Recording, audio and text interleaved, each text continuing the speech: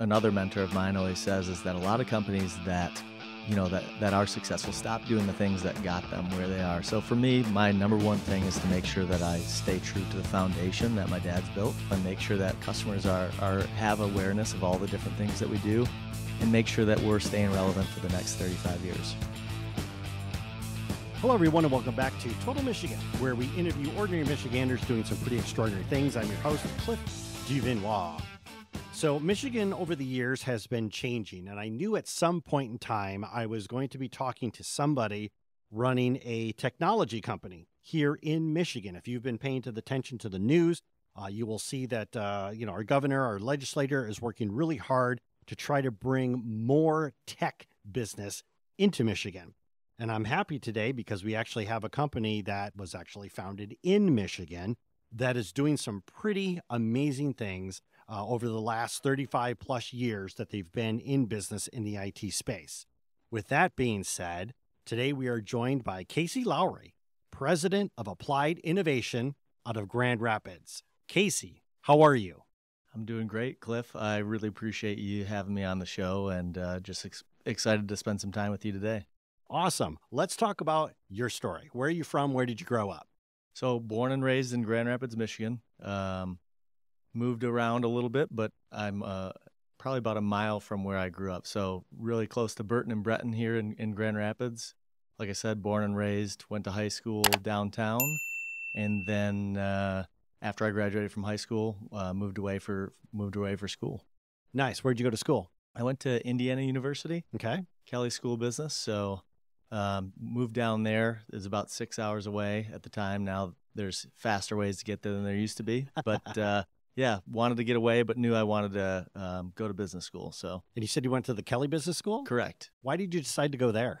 So you know, at the time, I, I think for me it was a lot about kind of getting away, getting away from Grand Rapids, and kind of seeing what I was made of. Mm-hmm. Um, I knew that it was a good school, and I knew I wanted to go to a big school. So I think those couple of things, and uh, when I went and visited, I just fell in love with the campus. now, what did you get your degree in? So I was uh, business, I was operations um, and marketing. Now, your father started Applied Innovations when?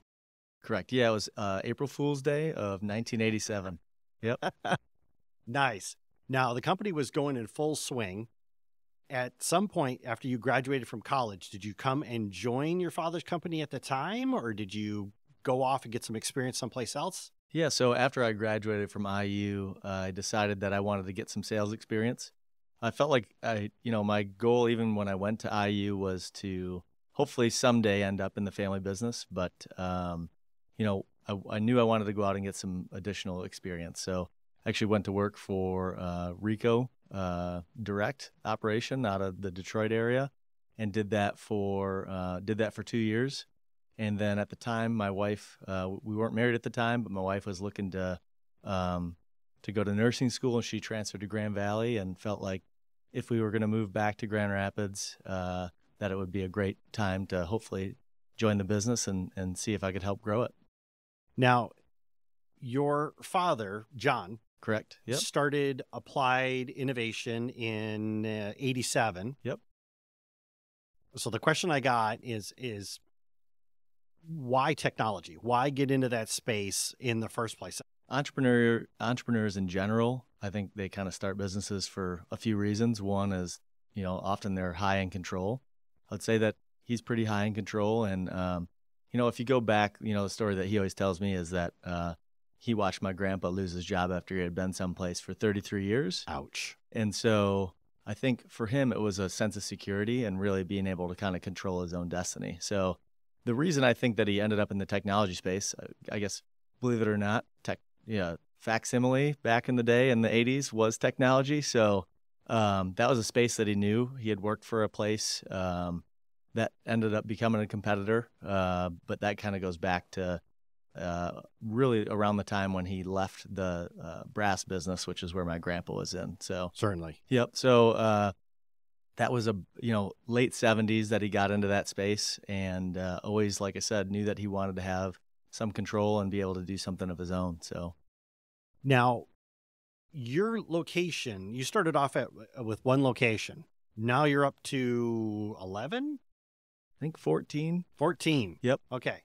I can count, by the way. Yeah. So I up to- should I should know that. I feel like off the top of my head. okay, so you're up to 14 locations. So first off, that's incredible. That really is. The second off, my question to you is is that when you came back to the company, how many locations were you up to at that point? I believe we had one sales rep in Lansing. Uh, we had a Kalamazoo location, and then we had a sales office in Muskegon. So it was really three, I I say, but potentially four. You could call it four. Uh, we had one, like I said, one sales rep um, out of the Lansing area. So So you started off with you had one location, you had a couple of small satellite offices, and then you come along and you join the company. But now here we are, you're at 14 locations, you're across multiple states, right? You got Michigan, you got Indiana, you've got Florida. The only word that comes to mind is explosive growth, right? You guys are growing rapidly. What what do you attribute that growth to? Uh, that's a great question. Um, and I think when you look at it, so I started in 2006, and a lot of the growth has been, um, you know, has been since then. But I, I think oftentimes people don't look at the kind of the foundation of the things that were built, uh, kind of leading up to some of that explosive growth. So I think that was kind of always at our core. Actually, if you look back, my uh, there's an article in my dad's office, and in 1997, he said, "I think we could be 100 million in sales and uh, 17 offices across Man, the I state." love So- goals. so I think you you know you kind of throw that out there, and I I feel like even when I started, 100 million was kind of always our goal, and I I don't know if I even truly believed it, but then you hear it enough times, and you kind of feel like you know everybody starts to buy in. So um so and I think you know we got we got lucky along the way. We had right things happen in the industry. Um, I think oftentimes too one of the things that's attractive about us. Um, so we we've done uh, quite a few acquisitions over the years. And I think one thing that uh, you know that other people like my dad who are maybe looking to sell their business and don't have an exit plan, a lot of times we're a great option for them because they know that we care about their people and we're going to continue to deliver Sure. great service and we're going to take care of their customers. So I think when you put a few of the acquisitions together and then you look at some of our strategies for organic growth, I just think it's kind of been a perfect storm. you made the comment about how you joined the company in 2006, 2008. You know, the economy is melting down. You know, we're too big to f- fail. And, Yep. you know, everybody's in panic and basically the whole country froze. What has kind of surprised you the most about getting through those really tough times? You know, I guess when we look at like 2008, 2009 specifically, um, I remember we did, um, I think it was 19 million in sales, and we did it the same the next year, and we felt like staying flat was growth, kind of in the Great Recession. Um, we did do one acquisition that I feel like was super key back then, that really kind of helped. I feel like catapult us over that 20 million, and we always kind of felt like there was these hurdles that you had to get past, um, and that's something that we've talked about over the years, but. Uh, you know, I think specifically, again, looking at that one, um, I remember one thing that we did back at that time because I, in 2006, I came on and I was a sales rep and I would go knock on doors and um, I still remember people not knowing who Applied Innovation was. And at the time, we were Applied Imaging, so I would go out and I would cold call and I would, um, you know, I would talk about Applied and everything we had to offer, and I had to, you know, teach people who Applied even was. And you know, you just get a little bit of momentum with acquisition and and I, I wouldn't say the rest is history, but that really helped catapult us through that time. Tell us about some of the things that really surprised you when you joined the business.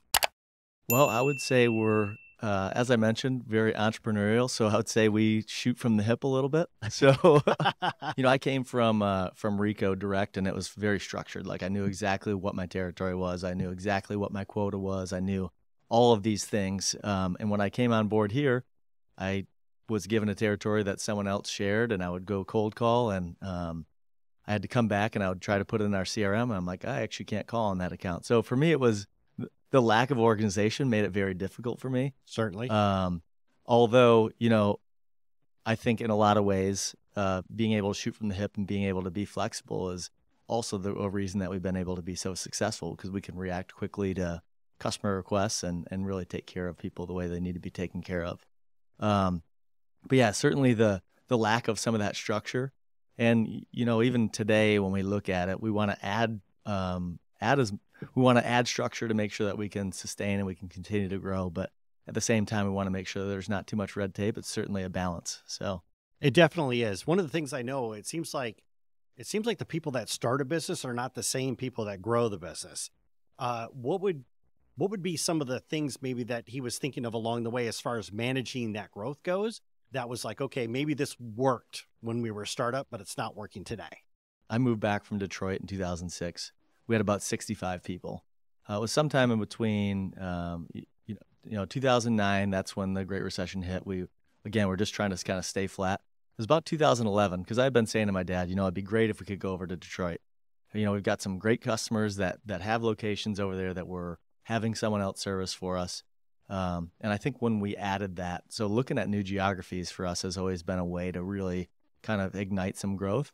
So we went from being very small in in uh, in Detroit to being able to now having multiple teams, um, and all the way up to kind of the Saginaw, the Clio areas where our closest office is up there. Um, but for us, it's been kind of adding those locations. And I think as tough as it is for my dad to let go of some of that, um, you know, some of the control, I think he has done a pretty good job for an entrepreneur of being able to let people kind of go and do what they need to do and kind of move into more of an organizational um, stage company. So certainly, and I would say too, you know, even when we, uh, you know, when we started to grow, for us, a big part of it was the culture. So we felt like we wanted to, you know, you know that each office is going to have a little bit of its own subculture, but we wanted to ha- kind of have that that foundation really at the core of everything that we do. And so I think by by being, you know, back in 2011, I don't think culture was as popular as it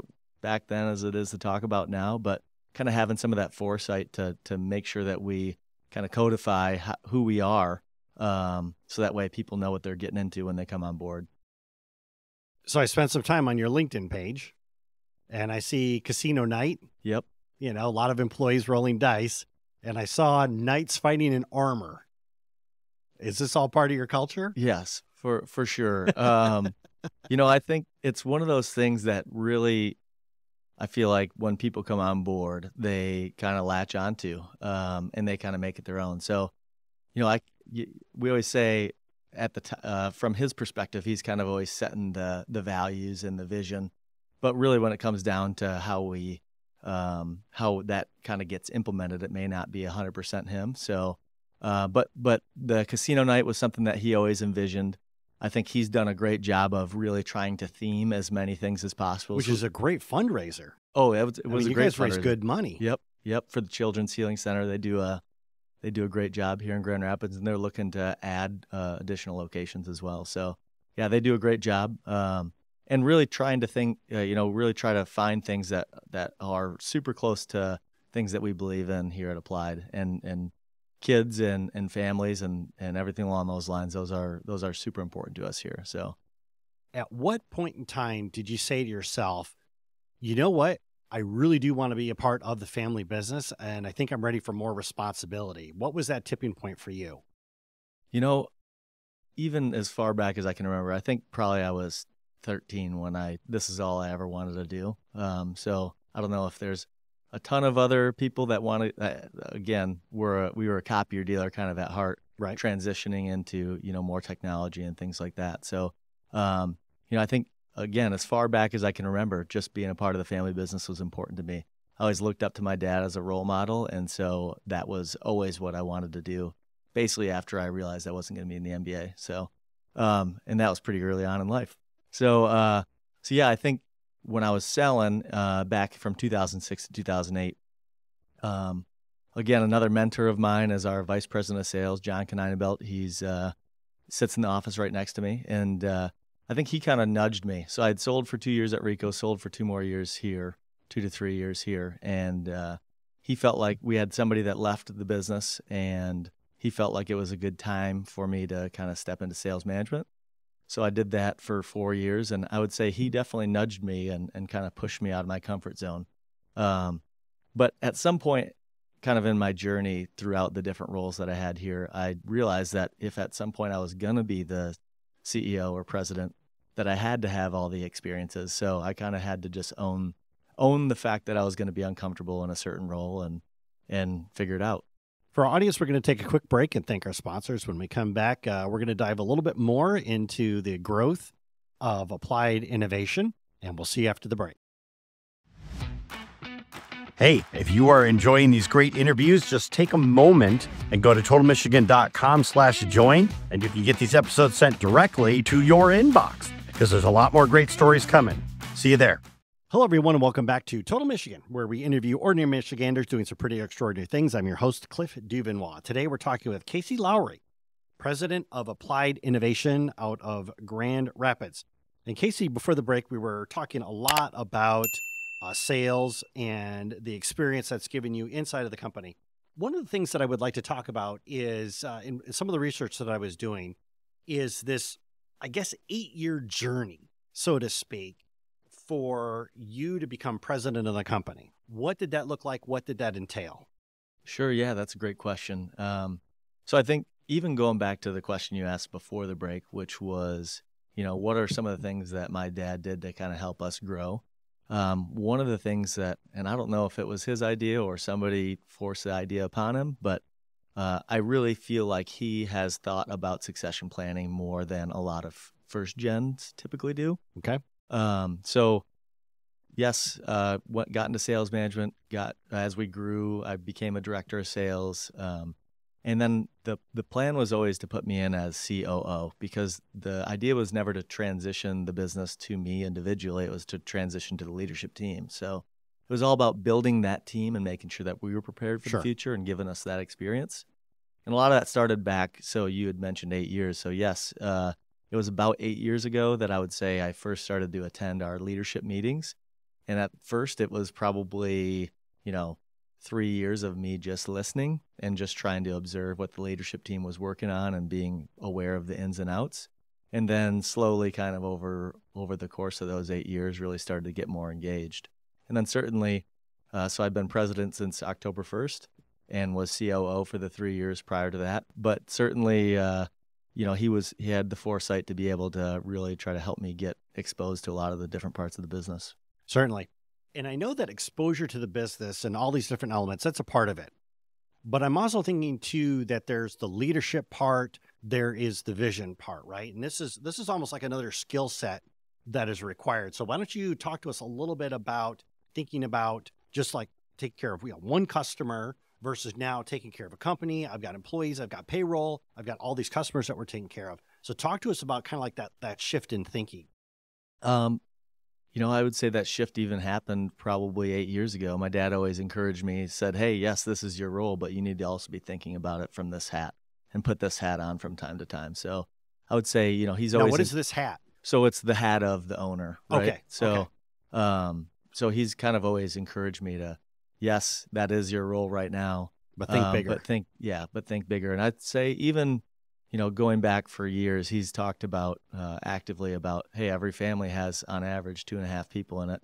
So you're responsible for, you know, at the time maybe it was 250 people to put food on the plate for dinner. So it's just something that we, I would say, we've always talked about.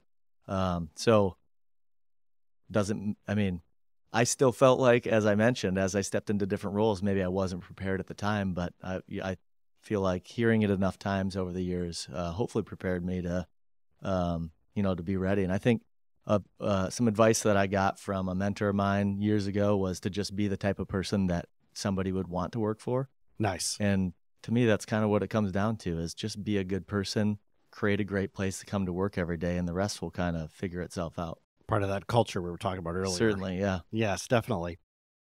One of the things that really surprised me when I'm doing my research and prepping for this particular interview, the Tampa Bay Buccaneers. First off, billion dollar brand. What surprised me in reading the press release for this, they sought you out. You did not go and, and bid on them. They actually came to you and said, Hey, this is a problem. Can you help us solve it? Sweet Moses, that's awesome. Yeah, that was that was pretty good. Okay, so I'm I'm kind of fanboying right now. Yeah. So talk to us talk to us about that. What was that like to have them just like call out of the blue one day, like, "Hey, can you help us?" You know, we talked about being lucky and having good timing. Um, so what's funny is uh, actually we saw a demographer at the Econ Club in downtown Grand Rapids, and that's actually the reason that we're in Tampa. So we knew that there was this deal. We had been contacted about a, a potential acquisition down in in the Tampa area, and um, we kind of were, I would say, him and hawing about it. We saw a demographer. They were saying, you know, Michigan's staying fairly flat over the next 20 years. Now, what's a demographer? Uh, just that talked about demographics. Okay. So, okay. so he, you're just looking at populations and shifts in ages and, and all sorts of different things. So um, they were talking uh, about uh, Florida over the next 25 years was supposed to double in size. I think it was 21 Whoa. million to 42 million or something like that. Right. And so we thought, hey, let's let's try to see what we can do in a growth economy. Um, so we had that going on in the background, and kind of tie it back into your Tampa Bay Bucks question. uh, so we had been doing business with the Detroit Lions for a handful of years. We had a contact move down there, and it was like, we love working with you uh, at the Lions. I'm now at the Bucks. Do you know anybody down here who could help build a similar relationship? And we were just like, hold on, and within the next six months, we were in Tampa, and again, kind of the stars aligned, and and uh, we were able to make that that deal, put that deal together. You know, th- this is just so awesome. And one of the questions that that I have to ask too, even as a small business owner, when you go up and you're going for somebody big, like I said, Tampa Bay Buccaneers, this is a billion dollar brand. I, I sometimes have to ask this, like, wait, what what made you think that you could actually get them as a client? Yeah, uh, and I guess even going back, I've always kind of thought as applied as you know the the it was one of kind of our jokes forever as a little guy across town. So for me, it's always had a chip on our shoulder. We're always trying to punch above our weight, and uh, nice. so I think even with that, uh, you know, what all customers are looking for is partnership, right? And especially somebody like that, if we can, if we can potentially bring customers for them, and they and and they can bring customers to us, and for us, it, it's that's what we did with the Lions, and and I think that that's what they hoped that we would bring to the Bucks, and it both have been a great partnership, and uh, and I'd say the other thing that all customers are looking for is just great service.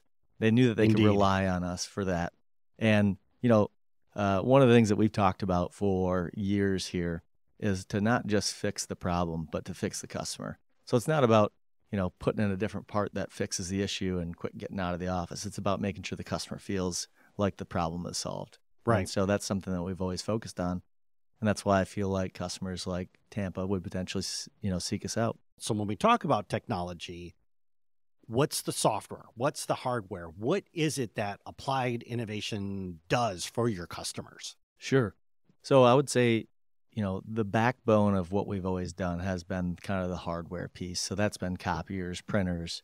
Uh, our joke was always, you know, IT folks are are you know who pulled the short straw that has to deal with the copiers and printers. So for us, that's kind of the backbone, the bread and butter, of what we do. Yeah. And we what we want to do is try to make that something that they don't have to think about. So they don't have to think about that, they can focus on other things that are more pressing. So, you know, that was kind of the core of our business, and that was till about 2001. And about 2001 was when we got into the automation space, where we're taking paper-based process and trying to help people automate process. Um, I would say uh, probably about uh, 10 years ago is when we got into the traditional IT space, so the managed IT space, where we'll basically manage anything, so help desk to server to you know anything in the cloud. So we can help customers basically completely go third party with their IT, or if they want to do partial, we could help them with that as well. Um, and I would say for us too, so kind of that transition from applied imaging, we were applied imaging until last July, I believe it was, when we officially became applied innovation. And for us, it was really that transition, right? It was we're not an imaging company anymore. We've been in the IT space for almost 10 years, and uh, we're a lot more than that. And we kind of see ourselves as um, as I mentioned, we we want to build a great place to come to work every day. Passionate people take really good care of customers.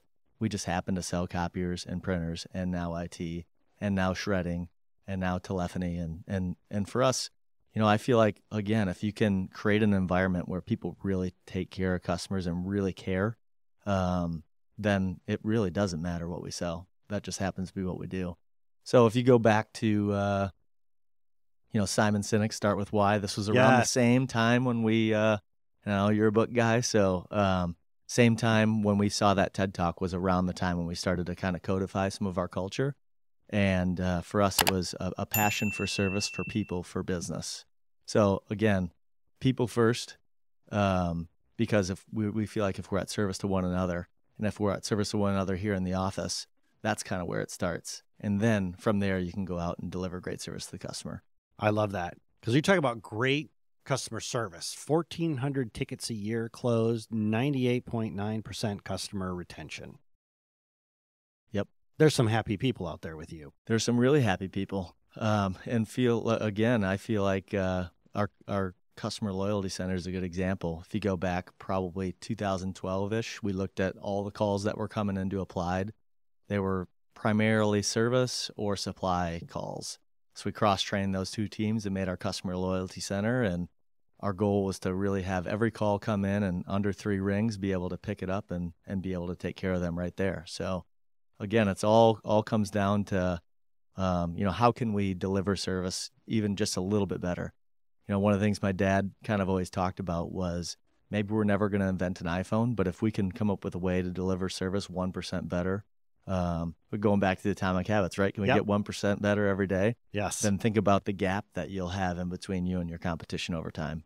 now that you're president, what is kind of what is kind of like the vision that you see down the road for applied innovation?